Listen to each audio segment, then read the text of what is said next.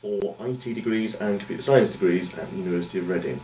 Um, I'm currently working with a project student who's working on an admissions website for me, which is trying to give you guys who are looking to apply to university a bit more of a feel, both for what we do at Reading uh, and also the admissions process, because I know it can be very, very opaque, um, very difficult sometimes to see through exactly what's going on, you sit there, you write your UCAS form without any idea what people like me, admissions tutors, are actually looking for, trying desperately to make sure that you write your personal statement, for example, in such a way that you'll catch our eye, that we think, oh, this person here looks really, really good, but without having any idea at all of what we're actually looking for. I know some of your college or, or your school tutors can actually tell you uh, and give you a few ideas about what to actually focus in, but of course, they've got some idea, but they're not the person in my shoes actually sitting there looking through the hundreds and thousands even of UCAS forms that I get, trying to decide who to make an offer to and who not to. So I'm trying basically to give you in this particular video uh, a bit of an idea uh, as to the type of things that I look for and what makes for a good uh, UCAS personal statement and what makes for a bad one.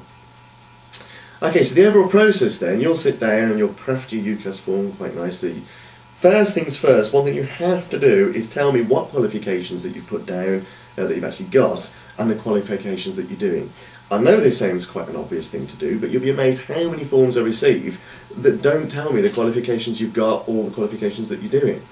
Without those details first and foremost, I can't go anywhere. So if I get a UCAS form and it's not complete in terms of the qualifications, I'll send it straight back and I'll say I can't do anything until I get those those qualifications. So that's fairly obvious, but you'd be amazed how many people make that mistake.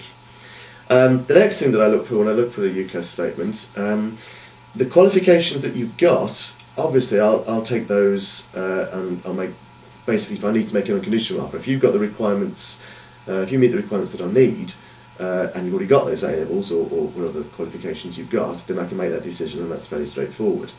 Otherwise, it'll be predicted grades, and I'll try to make the decision on the predicted grades.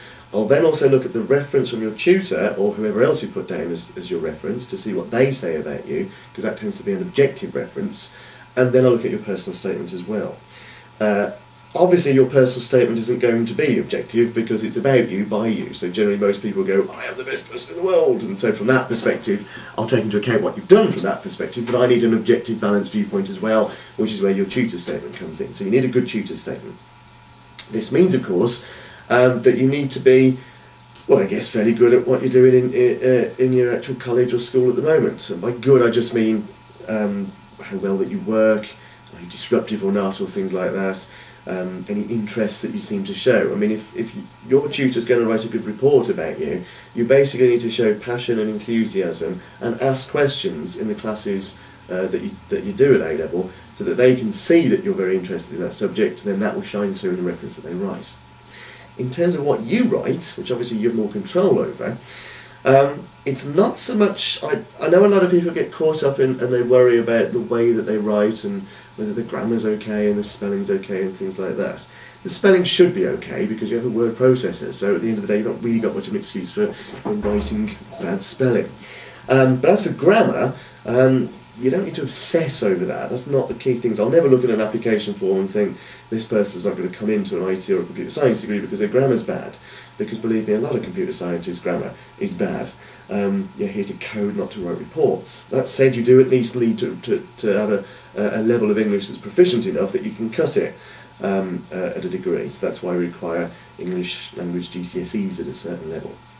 So, what I'm really looking for is evidence that you're interested in the subject, whether it's IT or computer science or whatever it is.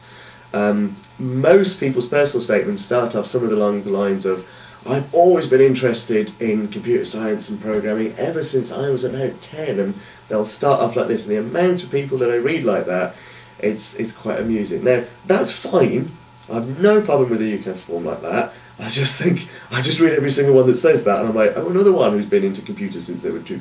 Um, so I tend to like, you know, you blank that out to a bit because it doesn't tell me anything about you. It doesn't tell me anything about your personal interests or why you're interested in IT.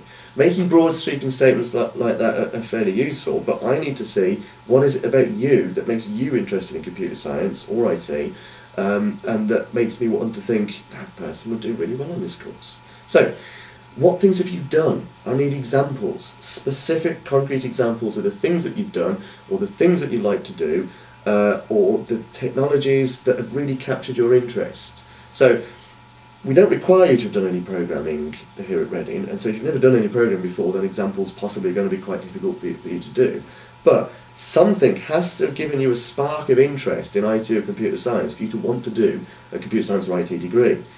What is it? What is it about this field that really captures your interest? Is it a technology? Uh, is it something you've read uh, in uh, either online or in a newspaper or magazine or something like that? Is it something your friends done or your, your, your parents have done or brother or sister or something like that? And what is it about that? I want you to tell me um, what it is that this field you find so interesting.